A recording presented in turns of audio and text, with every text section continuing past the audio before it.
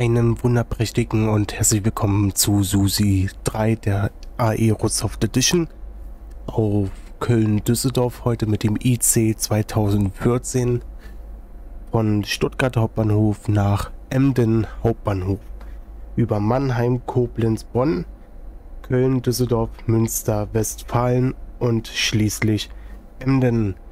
Die ganze Strecke verläuft ungefähr sieben Stunden, knapp siebeneinhalb Stunden. Wir haben natürlich nur Köln, Düsseldorf hier zur Auswahl. Wir fahren mit dem Triebfahrzeug oder halt mit der Baureihe oder mit dem Steuerwagen 296.3. Hinten dran mit einer BR 101. Die ganze Fahrt dauert ungefähr eine halbe Stunde. Abfahrt ist um 15.43 Uhr. Das kommt sogar, ja, der Tatsache, das haut hin. Ich habe jetzt hier gerade nochmal nachgeguckt. Der Zug fährt tatsächlich von äh, Köln Hauptbahnhof um 15.43 Uhr bis 15.46 Uhr. Das ist gut. Unsere Abfahrt ist auch um 15.46 Uhr. Wir müssen das mal ein bisschen beschleunigen hier, denn Susi ist immer so, ja, ein bisschen weiter weg. Hui, okay. Da sind wir im Steuerwagen und anscheinend gibt es ein Problem mit dem Zugfunk und mit dem Ebola. Ah, das ist dann nicht so gut. Ich glaube, das, was die Konsole angezeigt hat, da gab es einen Fehler im Kommando mit dem Buchfahrplan und äh, hast du gesehen? Ja, scheiße. Aber da ist er. Unser Steuerwagen mit einem ICE 2 hinten und hier einer Baureihe 448. Oh, es geht los. Müssen wir uns ein bisschen vorbereiten. Oh. Schließvorgang eingeleitet. Ja, sehr gut. So, Abfahrt ist hier mit 30 Stundenkilometer. Ich glaube, das wird für mich ja auch eine neue Erfahrung, da ich mit dem Steuerwagen noch nie gefahren bin.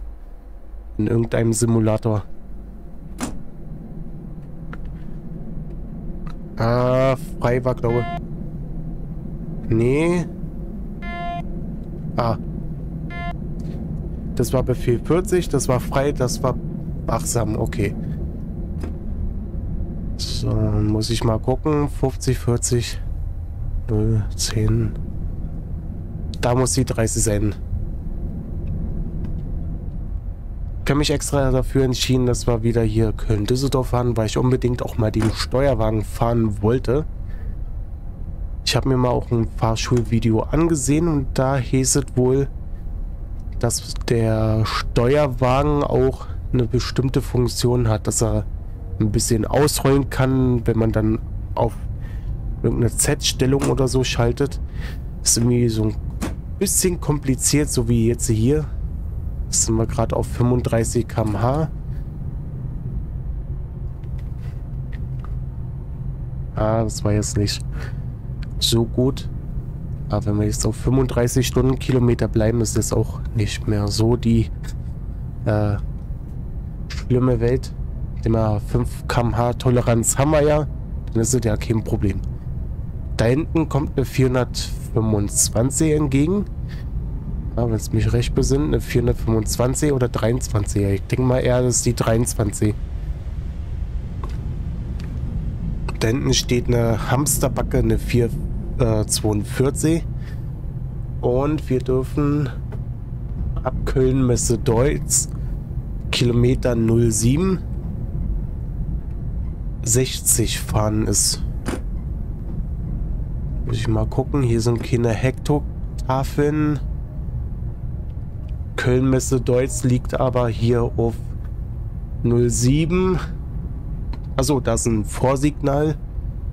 Und dann kommt Köln-Messe-Deutz auf 1,2. Nee, ja doch, 1,2.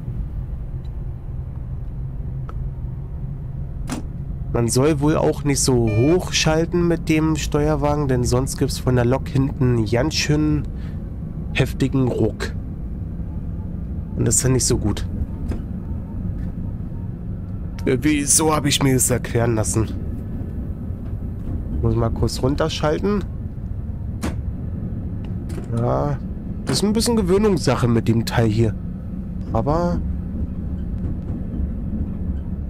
ich denke mal, so langsam komme ich rein. Also so einen ganz kleinen Schwupps. Jetzt dürfen wir 90 fahren, okay. Der Zug hat eine ungefähre Länge von, mal gucken, 200 Meter und wir dürfen auch nur hoch 200 km/h fahren. Ja, 204 Meter und 200 km/h. Mehr ist nicht drin. Warum es einen Fehler gab, dass der Buchfahrplan nicht geladen werden konnte, das muss ich noch herausfinden. Da gab es einen Fehler im Kommando. Ansonsten äh, wünsche ich uns allen eine angenehme Fahrt ohne komischen Vorkommnisse. Moin Kollege. oh, siehst du, da der gibt aber ganz schön Stoff, der Steuerwagen. Also ist doch schon eine ganz schöne Herausforderung hier.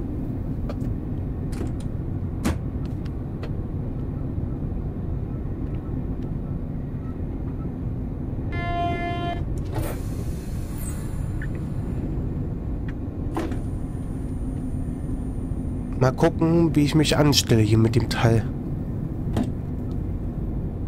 Aber man braucht nur einmal die Bremse anziehen und dann zieht er sich von alleine runter. Oder es liegt an der Steigung, keine Ahnung. Jetzt sind wir hier bei Kilometer 2,4. Mal kurz gucken. Es müsste gleich Köln-Mühlheim kommen. 2,6. Ja, 2,6. Ich muss jetzt mal hier reinkommen. Ich habe das schon so lange nicht mehr gespielt.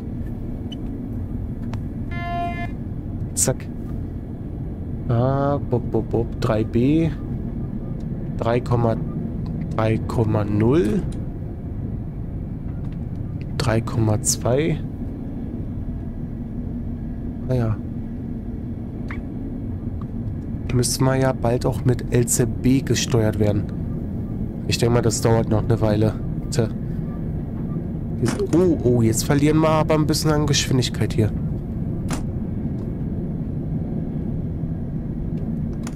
Jetzt fahren wir 60. Oder? Nee, 70. Köln-Mühlheim, okay, jetzt sind wir da. Kilometer, nee, das ist das Falsche, da ist Kilometer 0 das mit dem Steuerwagen ist aber wirklich... Moin, Kollege. Uh, oh, oh. Ja, es kann nicht mal so, äh, so einfach hier mit dem Teil. Düsseldorf, das ist gut. Ah, moin Kollege. 403. Oh, ist aber ganz schön kurz, der Kollege.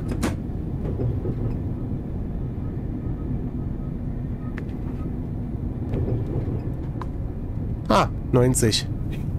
Warte, ja. Jetzt müssen wir sowieso mal gucken, dass wir ab und zu mal bremsen. Nee, hier gehst du wohl ein bisschen runter, wa? Ich weiß es nicht. Ah, da steht eine... Na? Ah, da steht eine 401er.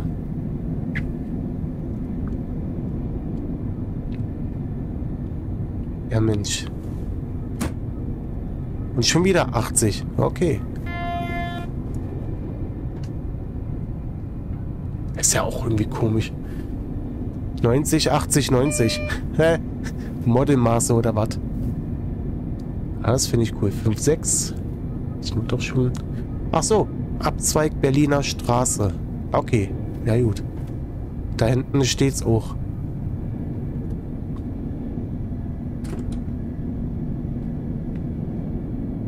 Ja, so langsam komme ich wieder rein. Aber dieser Steuerwagen ist doch schon ein bisschen Bisschen tough.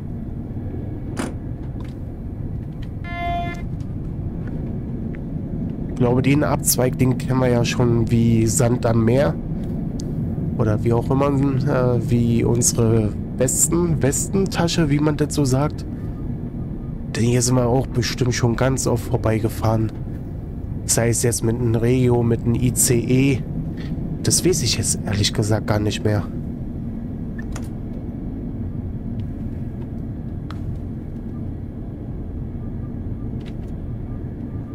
Ah, jetzt kommt die 130er Stelle. Jetzt können wir ja mal ein bisschen aufpushen. 7 bis 3, okay.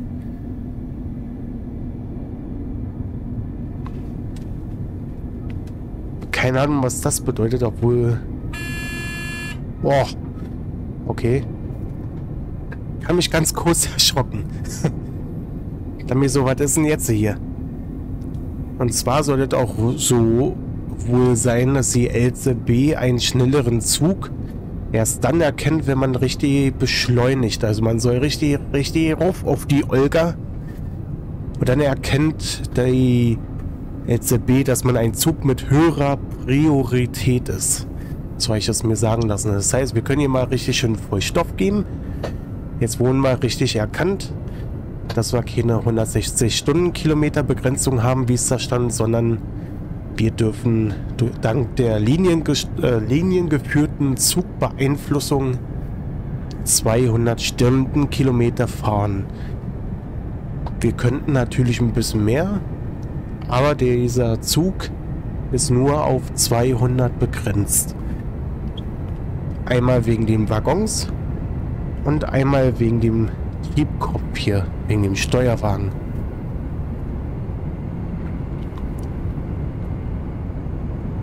Die 101, die kann ja sogar mehr fahren als nur 200. Das habe ich vor allem bei Transport Fever 2 sehr gut gesehen.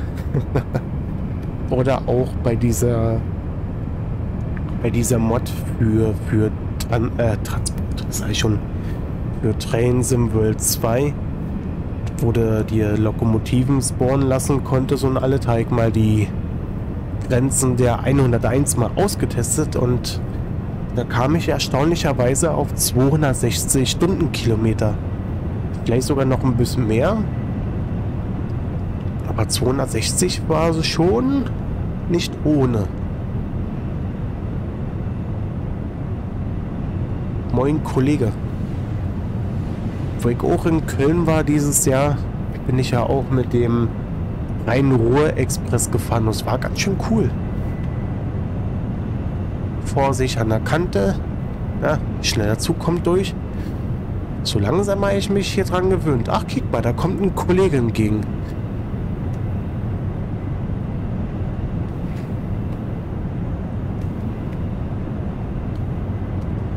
Moin! Tö. So sieht unser Zug natürlich auch aus. Nur, dass wir mit einem Triebkopf hier mit einem Steuerwagen vorne wegfahren. Was ich auch ganz cool finde. Wenn wir aus Düsseldorf nach Köln fahren würden, so wie unser Atze hier gegenüber, dann würden wir natürlich auch mit der 101 fahren, mit dem Sandwich, ne? Ist ja aber gerade nicht so. So, wir sind gerade bei 14.4. Jetzt muss ich hier mal ein bisschen den Fahrplan äh, weiter runter scrollen. Denn ein Glück habe ich hier auf meiner linken Seite, das sieht man nicht, habe ich ja trotzdem noch einen Fahrplan hier, so einen elektronischen Buchfahrplan. Naja, gut. Elektronisch kann man jetzt nicht sagen, ne? das wäre der Kollege hier unten. Ne? Aber ich muss ja mich auch ein bisschen orientieren, wenn das hier nicht funktionieren möchte, moin, der 422, dann muss ich ja irgendwie meine Informationen kriegen, wo ich jetzt gerade bin, wie schnell ich fahren darf. Und wie ich das hier sehe, fahren wir 195 konstant, das ist in Ordnung. So kann es bleiben. Wir fahren auch ohne AFB. Hier heißt es noch richtig schön selber fahren. Und das, das gar nicht mal so verkehrt. AFB ist auch hammergeil, ne? Wie LCB. Aber selber fahren ist auch schon geil. So. Was haben wir hier? 8,4. Ja, wir sind noch gut mit dabei. Die LZB-Tafel, die kam da gerade. 18,8. Ja, ich muss mal ein bisschen runter scrollen. Der nächste Bahnhof, den wir passieren, ist Langenfeld. Oh, was ich auch sagen muss, ich freue mich sehr auf die Strecke Bremen-Oldenburg, die ja morgen rauskommt für Trans äh, Transport. Moin Kollege. Äh, für äh, Trains in World 3. Wird natürlich direkt gegönnt. Schön mit einer 110.3 und N-Wagen. Ja, mit einem Karlsruher-Steuerkopf. Geil. Geil. Strecke ist ein bisschen kurz mit 44,4 Kilometer. Ich denke mal so, hier mal Daumen mal Fensterkreuz, dass dann bei Train Symbol 3 so ein bis fünf Kilometer vielleicht plus minus da sind. Also die Strecke an sich ist 44,4 Kilometer lang. Ist mitunter eine der ältesten gegründet oder erbaut im Jahre, korrigiert mich, wenn ich falsch liege, mein Kollege, 1869, 77, glaube 1869, also schon mitunter eine der ältesten Strecken in Deutschland. Und hier, da. Ah ne, ist eine 420, war? Ja. Äh, war die stehen geblieben. Ja, also 400, äh, meine Güte. 44,4 Kilometer lang. Und bei Trails im World ist es ja auch so, dass da meistens so mal ein paar 100 Meter, paar Kilometer mehr sind, wegen äh, Betriebshof oder Bahnwerk oder so. Ja, muss man mal gucken. 35,99 ist schon, kann man sich äh, drum streiten. Im Grunde genommen ist es eine neue Strecke, eine relativ kurze Strecke. Es gibt neues Rollmaterial, aber auch altes. Die 400, muss mal kurz überlegen, die 423 oder 25 ist vertreten in der Lackierung von äh, der S-Bahn Niedersachsen oder vom Regi Oh. Oder vom äh, Regionalverkehr Niedersachsen irgendwie so. Und dann gibt es ja noch die 155. Die wird in der Presslackierung kommen. Das sind alles bekannte Züge. Das einzig Neue ist halt die Strecke. Ja, und halt die 110.3 sowie die N-Wagen mit dem Karlsruher Steuerkopf. Und das war's. Es gibt eine ganz bekannte Brücke, die animiert sein soll. So eine Hebebrücke. Ja, mal gucken. Also holen werde ich es mir natürlich. Auch wenn der Preis, ja, schon ein bisschen auer ist. Aber mal gucken. Vielleicht äh, kommt noch ein kleiner Abschnitt mit dazu. So wie bei äh, Dresden-Riesa, wo dann Leip äh, Leipzig. Äh, wo Leip, ähm, na, Meißen-Triebitschtal mit dazu kam. Ne? Kam ja auch später. Vielleicht erwartet uns ja was. Jupp. Ich bremse ja sowieso schon ab. 160.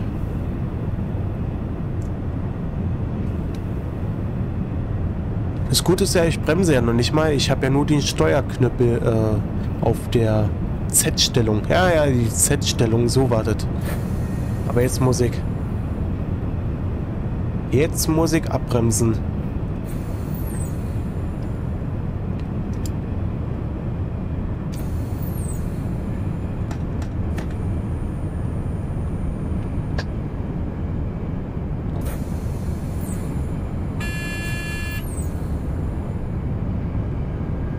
Ja.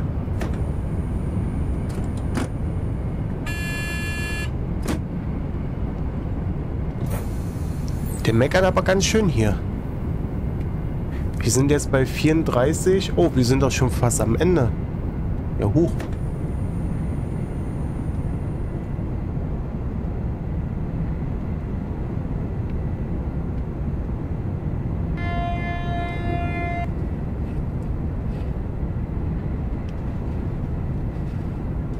Ja, das war schon. Wir sind fast am Ende. Tö. Oh. Achso, jetzt habe ich auf äh, wachsam quittiert, obwohl wir noch mit LCB fahren. Huch.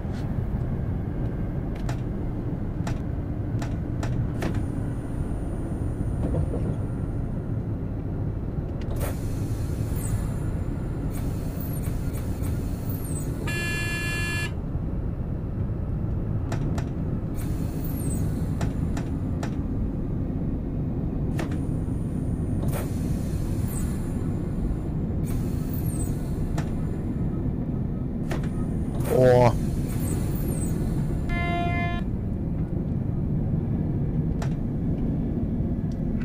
Geht ja ganz schön ab hier.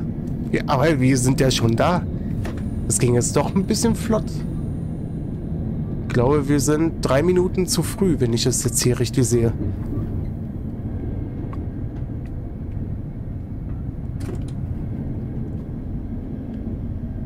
Ja. Wir sind jetzt dabei, Düsseldorf einzufahren mit... Ja, fast vier Minuten Verfrühung.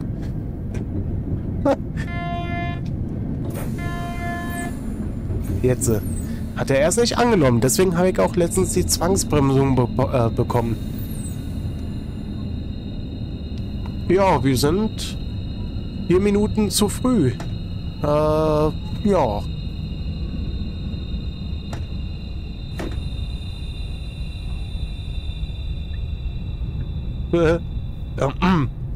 Ja gut.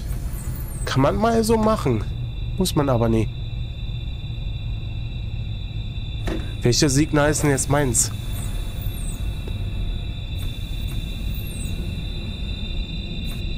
Das da vorne? Oh! Ups.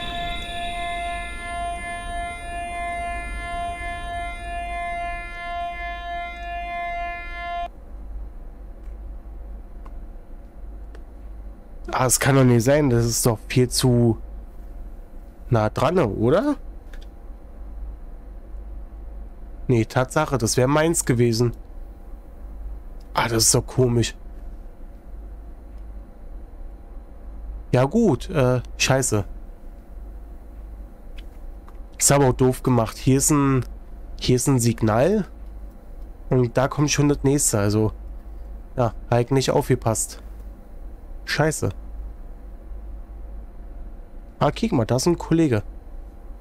Es wird natürlich bestimmt auch in die Bewertung gleich einfließen. Kacke. Ja, das ging doch ein bisschen schneller als gedacht. Am Ende der Fahrt. Hm. Am Ende gab es auch eine Zwangsbremsung. Scheiße. Dabei bin ich doch so gut gefahren. Ah, kacke. Eigene Blödheit kann man dazu sagen. ja, ähm... Mal gucken, vielleicht sehen wir ja die Bewertungen äh, gemeinsam. Ich kann das ja mal ein bisschen vorspulen hier.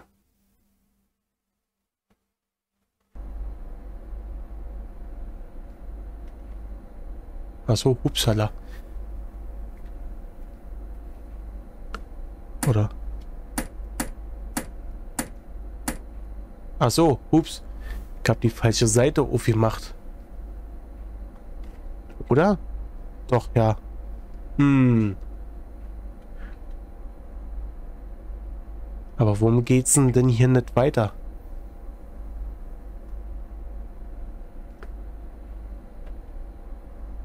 Ah, komm neuer Kollege. Oh, Parallelausfahrt. Schön.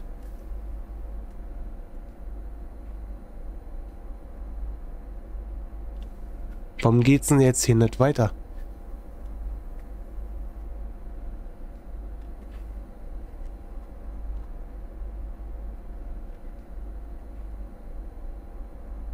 Bestimmt, weil ich rübergefahren bin, wa? Oder? Ich sah auch keine Hekto äh, Hektotafel. Aber ich denke mal, hier war immer Schluss gewesen. Oder? Man kann sich ja hier so nicht so ganz bewegen. Das ist ja die Kacke. Hm. Mir wird auch angezeigt, dass ich noch äh, Fahrgäste reinlasse. Aber ich bin noch schon hier fast 20 Minuten auf dem Bock. Hier auf dem Bahnhof. Oh, der IC fährt. Da fährt die 420, die wir eingeholt haben. Ja, schick, ne? Ja, es wird einfach nicht grün. Ich denke mal, hier sitze ich fest jetzt. Ach, der Gegenzug ist auch schon da. Hm.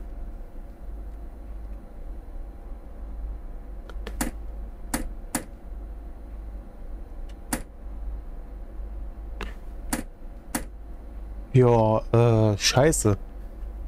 Was wird denn das jetzt hier? Okay. Ja, schade. Also keine Auswertung. Gut. Damit bedanke ich mich fürs Zusehen. Ja, für die Interesse. Und ich hoffe, dass wir uns dann doch ein bisschen eher hören wieder. Ne, dass dann wieder regelmäßig Uploads kommen. Ist halt ein bisschen schwierig mit der Arbeit. Jetzt bin ich auch noch ein bisschen angeschlagen. Das hört man bestimmt auch. Ich gebe mein Bestes. Paris, Athen, auf Wiedersehen.